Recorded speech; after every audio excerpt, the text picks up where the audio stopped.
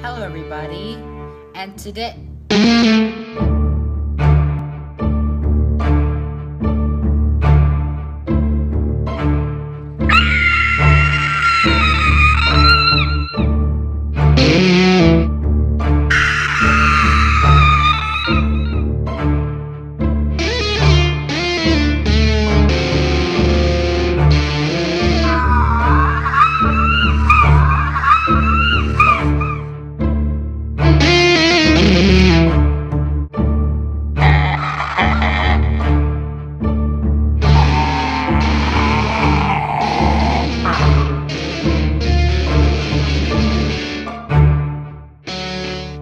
Forgot what I was gonna say.